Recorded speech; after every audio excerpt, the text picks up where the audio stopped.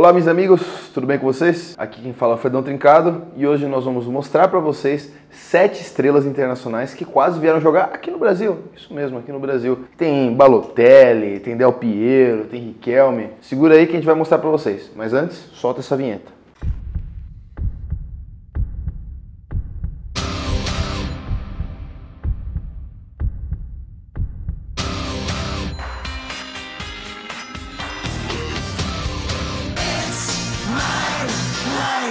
Craque número 1, um, Didier Drogba, mais popularmente conhecido como Drogba. Tenho certeza que vocês já ouviram falar dele. O Costa Marfinense, que fez muito sucesso pelo Chelsea na década passada e no começo dessa década, ele estava sem clube no final de 2016 ao acabar o seu contrato com o Montreal Impacts do Canadá que disputa a MLS. Ele estava sem clube e ele tinha duas propostas. Ele tinha uma do Phoenix Rising e ele tinha uma do Corinthians. O que parecia ser muito complicado, é, avançou, avançou, avançou e o Corinthians chegou até a vender camiseta. Isso mesmo, gente. Chegou a vender camiseta do Drogba, acho que se não me engano, ele 11 era número 15, não era a camiseta? Era número 15. Bom, a loja Meu Timo vendeu as camisetas e ele não veio. Ele não veio, deu tudo errado. É, no fim, a diretoria falou que não ia rolar, que ele tinha recusado a proposta e ele realmente recusou.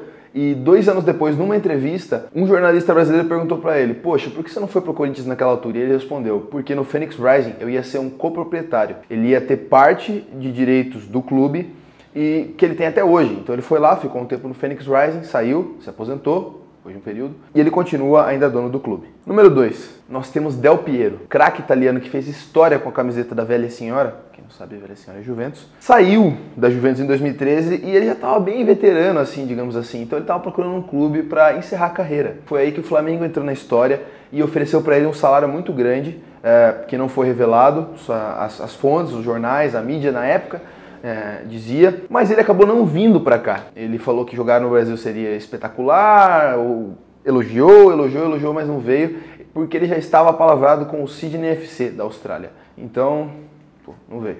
E agora vamos direto para 2016 para falar do craque número 3, Bastian Schweinsteiger. Ele que foi ídolo no Bayern de Munique, ídolo na seleção alemã, é, foi campeão aqui na no Brasil na Copa do Mundo de 2014. Ele estava encostado no Manchester naquela altura. E ele já estava assim veterano, queria procurar um clube também para encerrar a carreira. E foi aí que o Santos entrou em ação. O Santos falou assim: "Ó, oh, vem para cá e tal, a gente vai fazer uma ação de marketing, vai te promover, vai ser um negócio da hora". O curioso é que quem deu a sugestão não foi a diretoria do Santos, foi Dorival Júnior, que naquela época achava que um craque como ele daria ânimo pro time e levantaria o astral da galera. Mas infelizmente ele custava muito caro e o negócio não deu certo. Craque número 4, galera, a gente vai falar sobre o primeiro craque sul-americano aqui dessa lista, Riquelme. Ele que fez história com a camiseta do Boca Juniors, foi campeão da Copa Libertadores, foi campeão argentino, tem um monte de título que ele conquistou pelo Boca. Ele quase veio parar aqui em São Paulo, no Verdão. A história foi o seguinte: o ex-presidente Arnaldo Tironi comandou as negociações, tentou conversar com o empresário de jogador e falou: Ó, oh, vamos fazer um esqueminha aqui, negócio de marketing. Ele vem para cá, ajuda, vira líder do time.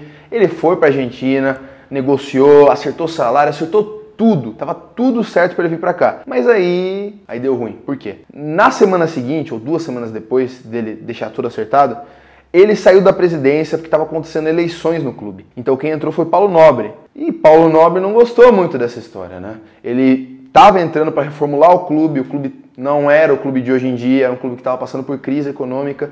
E ele chegou na primeira semana e falou assim: ó, sem Riquelme, não vai rolar. E por que, que ele falou isso? Exatamente porque o Palmeiras não tinha dinheiro naquela época. Ele falou: ó, a gente não tem dinheiro, a gente não tem como marcar com uma contratação. Na verdade, contratação não, porque ele já estava é, sem clube. A gente não tem como marcar com um salário desses, a gente não tem como, não tem como suportar isso. Então ele não contratou Riquelme. Craque número 5, meus amigos, temos Falcão Garcia, o colombiano que foi sensação em clubes como Porto, Atlético de Madrid, não foi tanta sensação no Manchester United, mas jogou lá também. Mônaco, foi campeão francês pelo Mônaco. Mônaco, Mônaco. Pelo Mônaco. É, Galatasaray, que ele tá no Galatasaray agora, já tá mais, mais velho, mas ele tá no Galatasaray, tá jogando em alto nível ainda. Ele quase veio parar aqui no Fluminense. Aqui não, porque eu em São Paulo. Ele quase veio parar no Rio de Janeiro, aqui no Brasil. O Fluminense, na época, em 2007, quando ele jogava pelo River Plate ainda, fez uma investida por ele e daria o Conca. E de acordo com o Falcão, na época, que ele deu uma entrevista, ele falou que o salário e a oferta era muito gorda, as luvas, é, era uma oferta quase recusada. Mas ele preferiu não aceitar a oferta e quem acertou foi Dario Conca, que vocês sabem, foi ídolo no Fluminense. De volta à Europa para o número 6, nós temos ele, El Mário, Mário Balotelli. Mário Balotelli que É um cara aí de polêmicas aí, sempre tá sendo suspenso, sempre não, no passado, agora ele tá mais, mais comportado. Ele quase veio parar aqui no Flamengo no ano passado, quando o Flamengo tava querendo montar um time bom, um time que já tá muito bom, Everton Ribeiro tem agora, é, Gabigol, Bruno Henrique, ele estava montando esse time e ele fez uma oferta por Mário Balotelli. O Mário Balotelli negociou, negociou, os diretores foram para a Itália, é, os representantes do Mário Balotelli continuaram as conversas por meses, ofereceram, o Flamengo no caso, ofereceu 3 milhões de reais sem 3 milhões de reais, 3 milhões de reais sem impostos por ano para ele, um salário até maior do que o Gabigol já ganhava, mas ele acabou não, não aceitando e foi jogar pelo Brescia da Itália. Não sei se foi uma boa opção, né? Agora o Brescia está quase caindo, mas e por último, e não menos importante, temos Nicolas Anelka, o ex-craque do Chelsea, Manchester City, é, Arsenal, entre outros clubes. Ele jogou em muito lugar bom. Ele quase veio parar aqui no Brasil, exatamente no Atlético Mineiro. Isso mesmo, Atlético. O Galo é, fez uma investida por ele em 2013 para jogar junto com o Ronaldinho Gaúcho. Em uma negociação que era especulação total, acabou virando uma coisa séria. E, bom, ele chegou a a se reunir com os dirigentes do Galo e falou: Ó, agora eu vou assinar o contrato, vai ficar tudo certo. Foi quando aconteceu aquela famosa né, tuitada do ex-presidente do Galo, Alexandre Calil, que ele falou: a Nelca é do Galo. Mas ele acabou não vindo. Temos duas versões diferentes aí dessa história, por que ele não veio pro Galo. A primeira é do presidente, Alexandre Calil, que era na época, agora é outro presidente.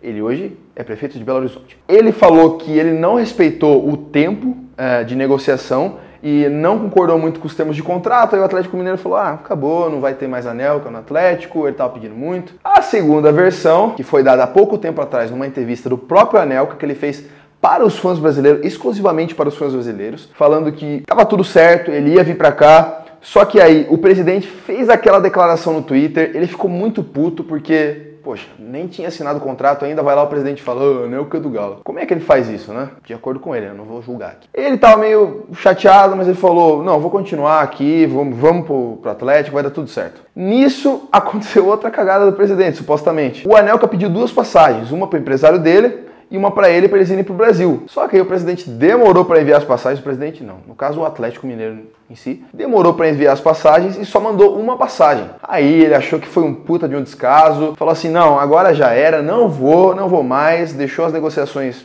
se darem por encerradas e não veio para cá. O ex-presidente Kalil deu uma entrevista depois que o Anelka deu a entrevista, falando: ah, eu nem quero mais pensar nisso, agora eu tô na prefeitura de Belo Horizonte e tal, isso daí é coisa do passado. O que aconteceu? Não sabemos. É isso aí, galera do E-Rede. Muito obrigado por estarem aqui comigo de novo. Se vocês quiserem mais curiosidades assim, se vocês quiserem uma parte 2, talvez, deixem nos comentários. Também deem um like, se inscrevam no canal. Falou!